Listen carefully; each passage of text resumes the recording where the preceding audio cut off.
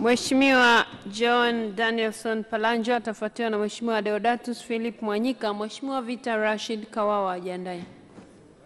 Mheshimiwa Spika, nakushukuru sana kwa kunipa nafasi na mimi nichangie kwenye bajeti hii ya maliasili na utalii, wizara ambayo kwa kweli ni nyeti, ambayo inachangia pasenti 25 ya fedha zote za kigeni, lakini pia pasenti 17 na nusu eh, pato la taifa.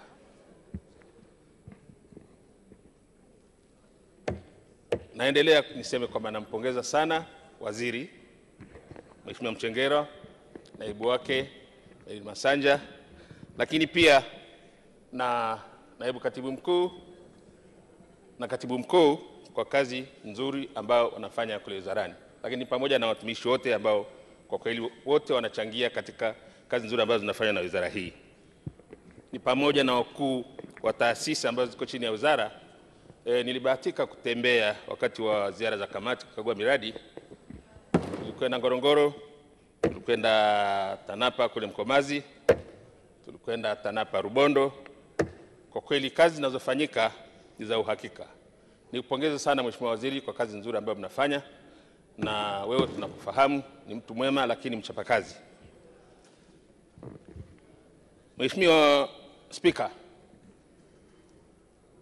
naomba nijikite kwenye eh, hifadhi ya Arusha.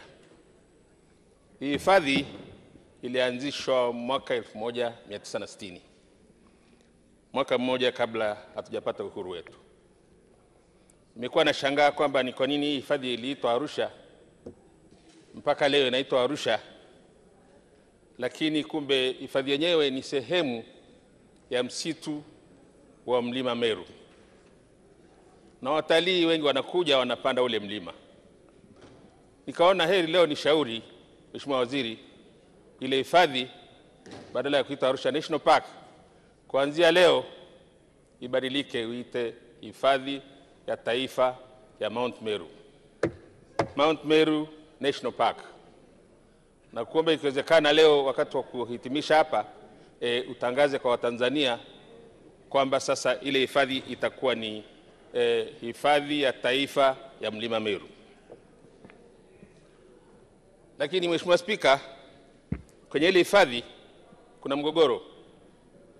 Niliwahi kufika kwenye ofisi ya waziri nikamwambia kwamba tupange angalau twende kule jimboni, aenda azungumze na wananchi, na bahati mbaya ile timu ya mawaziri eh, nane ambayo ilizunguka nchi nzima haikuweza kufika pale hifadhini. Iweze kuzungumza na wananchi.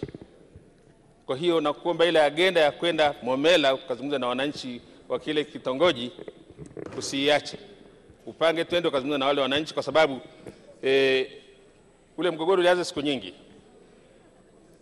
Na ulitokana na mashamba mawili namba 40 na 41 kutwaliwa na serikali, ambayo mashamba haya yalikuwa yanamilikiwa na wawekezaji.